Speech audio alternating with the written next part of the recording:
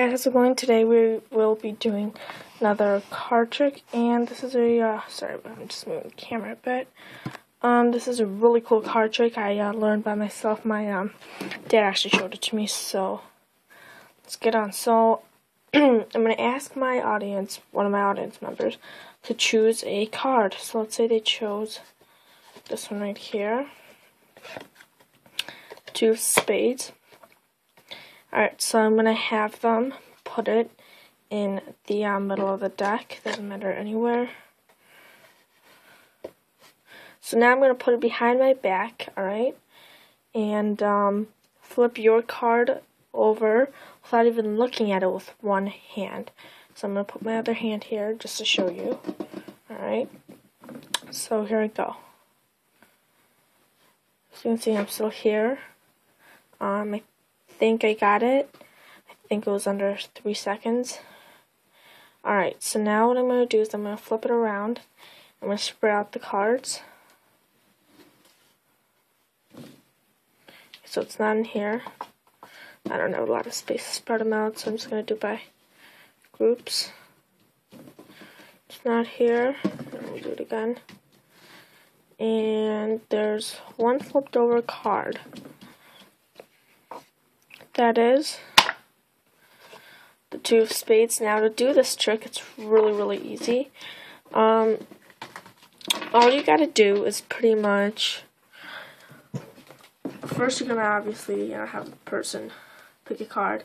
But before you even do that, you have to get this deck already. So all you gotta do is you gotta flip the card over where all the cards are facing down. Flip the bottom card over so it's upside down have the audience member pick a card. So let's say they chose this one. While they're looking at it, flip the card around. It's the Eight of Clubs. Tell them to put it in the middle of the deck, and don't try to show the um, other cards that are not flipped over. So tell them to put it somewhere in the middle. When they put it in the middle, you're going to tell them that you're going to find the card with one hand without even looking at it and flip it over. You put it behind your back, you can put one hand show to them, but when you're it's behind your back, you're gonna have your back supporting this. So you're gonna push with your thumb, flip it over, flip over the deck again. So it looks like all you did was just hold it, flipped over, and then you bring it back out. And you're gonna say, I'm, now I'm gonna flip it over. I'm gonna spread out the cards. I'm gonna show you that I magically turned over your card without even looking at it, and then you're going to show the deck and you're going to show then there's one card flip from the whole deck. Show them the whole deck make sure they know that the whole deck is fine except from their card. And there you got it.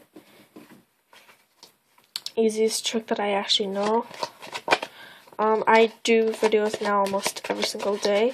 And if you have a trick to show me and you would like to teach me how to do it or anything like that then just um, message me the trick and maybe even a video tutorial. Look at this. Prices. I used that for one of my videos actually. Um, but yeah. Thank you for watching. And um, I'll see you next time.